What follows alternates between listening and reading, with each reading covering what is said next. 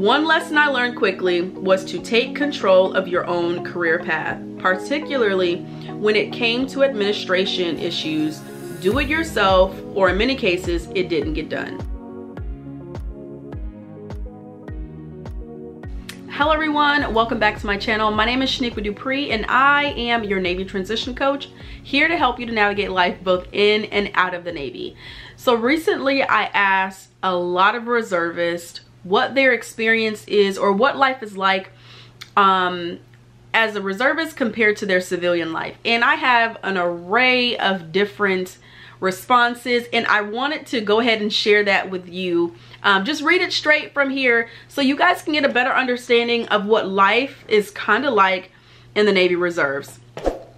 So there is a group on Facebook that is full of reservists that um I always ask questions, right? I always ask questions for them because I, I don't have all of the Navy Reserve experiences. There are some things that I haven't done yet and other people have. So why not come on here and share those things with you guys so you can make an informed decision or you can just understand what the Navy Reserves is like.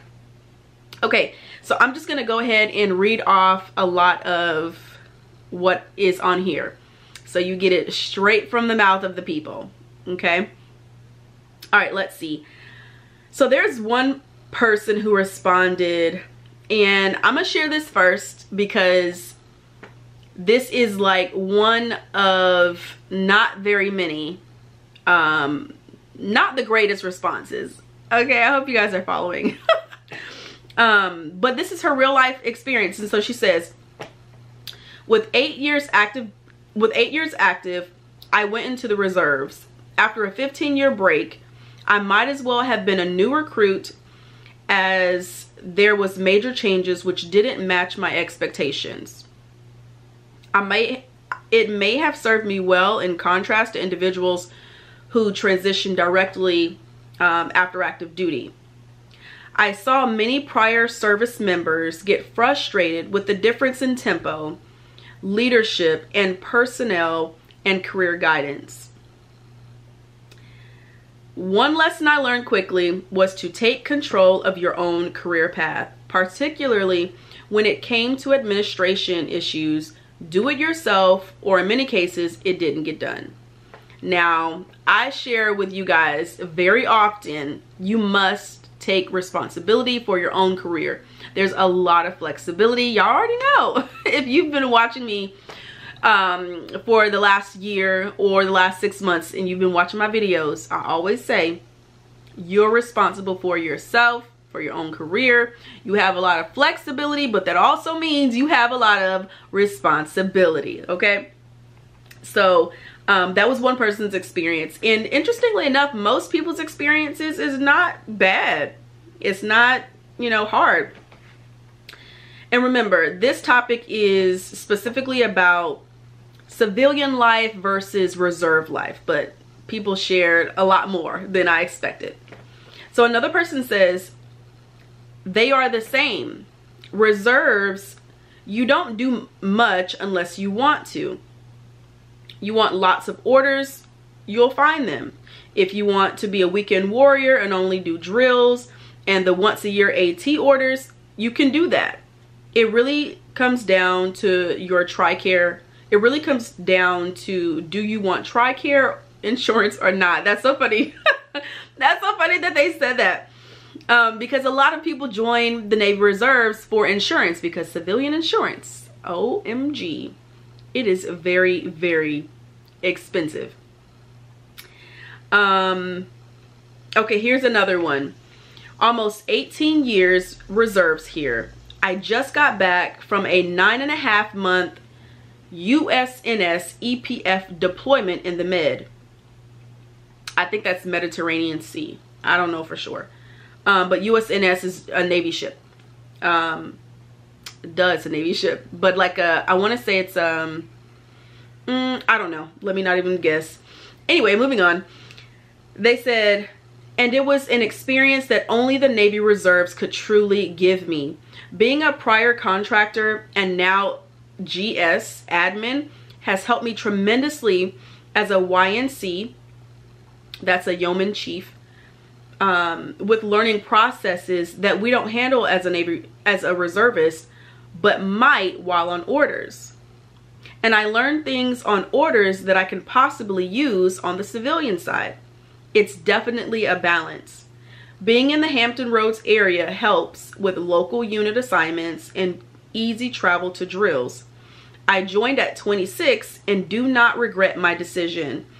It does get difficult at times and a lot can be asked of you. Boundaries are set and time management is a must. I really appreciate this person for sharing this because it's so true. Like there are things that you can learn in the Navy Reservists that can help you in your civilian career, right? And there's the vice versa. Some things that you learn and understand and know that's a part of your civilian job that you never thought would be actually be useful for your um, for your reservist job. Um, I don't know if you know if you've watched the video a long time ago when I shared that the Navy Reserves um, will allow you to take sorry y'all will allow you to um, use Navy Cool.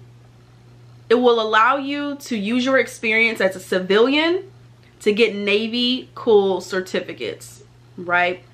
So it's essentially, Navy Cool is essentially certifications um, that you can get, right? But it's not just for the Navy rating or Navy job, but also what you do as a civilian. And I thought that was really cool that they offered that to Navy reservist. Um, this is what someone said, someone put here. It's a GIF. So this is what, this is their response. Oh goodness, can you see it? This is their response right here. Right? So they're essentially they're saying, uh, I love it, but it's definitely a juggling act. Um, okay, so this is from someone who recent, like who, not recently necessarily, but who enlisted right out of high school. So if you're someone who is um, coming straight from school, whether it's college, whether it's high school, or you're just a straight up civilian, this might be helpful for you. So this person says, as someone who enlisted right out of high school and chose going reserves from the beginning, it's been a lot of questions and not too many answers. My career in the Navy just started and I've been through a journey of discovering new things every day. Balancing school and military is a challenge, but I'm waiting to see what the what's the outcome. I'm glad she shared that. That is a real honest like response, right? Um I come on here and I think I'm mostly in favor of the Navy Reserves, but it's so great to to see other people's perspectives um and give you guys because you know so many people um so many people watch my content from all sorts of backgrounds. People who are trying to become a citizen in the united states people who um have a family, people who are leaving active duty, people who are coming back on active duty after a long break in service. Like there are so many different types of people that watches my content and I'm glad that she shared her experience um, and the realities of it because I, I agree with her. okay. Another person said um, they work 10 to 12 hours a day, then go home to deal with emails, evals, quarter awards, maps, maps, um, requests, NSIP muster, and requests, etc., etc. So what they're essentially saying is they go to do their job, right? Their civilian job. But then when they get off, they have to do Navy stuff, right? A long time ago, I told you guys, one thing about the Navy Reserves is you don't always just do Navy Reserve stuff during drill weekend. Like the more rank you have, usually the more responsibilities you have, right? The, if you want a, a good, decent eval, you're going to end up doing some things outside of your paid Navy time to get it done, right? and you have to be committed to um you got to be committed to the Navy Reserves if you're gonna be in a in a, a, a leadership role. I, I have to say, you you're gonna have to. But they're essentially just saying, you know, I go do my job, but okay, I still got another job to do because I'm responsible for other people's careers. I got to get some things done. Okay, so let's see. Another person says, it all depends on your situation. I work full-time for several NRCs, NRCs near me doing funeral honors. It's a wonderful job, good for your Navy career, and financially is better than my civilian job I used to have. I flex drill out of town and take a few sets of month-long orders a year and never have problems taking off. Civilian wise, I live on and run a ranch, a farm, and have family always willing to help out when I'm gone. That is so cool. Like, that is really cool. They, they literally use the Navy as their full-time job. What? So you don't necessarily have to take orders, uh, long-term orders, but like this person says, they do funeral honors depending on where you live. So for example, for me, I live in Georgia. So I have multiple states around me, multiple NRCs around me um, that I can go and do funeral honors for. So for example, there's Augusta, Georgia. There is Greenville, South Carolina. I think I'm saying that right. There is Nashville, Tennessee. There is some spots oh birmingham alabama um i don't think florida is close enough but based on where i live i have multiple nrcs that i can go to and do funeral honors with. Um and this is what a lot of people do to prevent from needing a civilian job. And the the great thing is that the navy also provides mileage. So if i live in georgia but i want to do a funeral over in south carolina the Navy's going to pay me for the mileage and they're also going to pay me for the funeral itself. So, and then on top of that, they said they go on order. So essentially they created a, a, a system that works for them so that they can get the income that they need to supply their lifestyle. And I think that is really great. These are the things that I find so um, powerful about being in the Navy Reserves, like specifically the flexibility. Um, another person said, I enjoyed picking up orders in the reserves, got to see some cool places. I enjoy my time more now as a travel nurse. Three shifts a weekend or three shifts a week give me more time to sightsee. So this is a person who's a travel nurse as well as a reservist. That is so cool.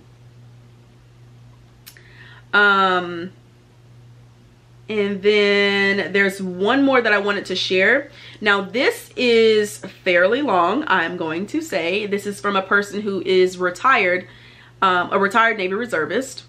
Um, they actually joined a long, long time ago, like super long ago. Um, and they spent 30 years in the reserves. And I want to read this to you so you can get a futuristic view of what things could be like for you. Okay? Here we go. And this is going to be the last one that I read. Joined the U.S. Navy Reserves in 1969 as a 2 by 6 to avoid the draft. Spent two years on a ship and couldn't wait to get out. Did my two years of mandatory drilling after active duty. Hated being in the reserves and couldn't wait to get out. Funny thing happened. After I completed my obligation, I realized I like wearing the uniform and being a sailor. I ended up doing 30 years and being recalled for one year for Desert Shield Storm Sweep. As I was finishing my recall, I completed my 20 good years for retirement. At 20, I finally thought about my Navy my Navy retirement. I ended up doing 10 more and retiring in 2000 in the year 2000. Still, I didn't realize what a good move I made by staying in. Still, had I still had 10 years of no pay, no association with the reserves, and missed not being a drilling reservist. When I hit 60, my wife no longer had to work for our medical, and I got a pretty decent paycheck. For all, I'm just gonna say what's written, for all the whiners out there that complain about all the time you had to work for free, the service wasn't for you. I never even thought about the paycheck. It was just an added extra. I enjoyed almost every day as I served. It's up to you to make rank and do the extras. You'll get nothing out of me except positive, uh, except positivity about the Navy Reserves. I'm probably probably a rarity doing 30 years as a reservist, but I knew the program well, and if they needed extra, even as a second class, I volunteered. I can only speak from 1969 to 2000, but I would do it all over again. As far as a civilian job, I owned and operated a music store for 50 years while doing 30 as a reservist. My vacations every year were mostly my two weeks AT. Inconvenient, yes, but I put my priority towards my service. Looking back, I wouldn't change a thing in either profession. The Navy Reserves, or the Navy and Reserves, are a different character in today's world. I'm sure I would have a different feeling today with today's Navy. Just old school. I loved every day I was able to put on that uniform. That was really inspiring. I really love that he took the, the time to share that um, so that, you know, people like you can understand and, and see what's possible. Um, the Navy Reserves, one, is not for everybody, right?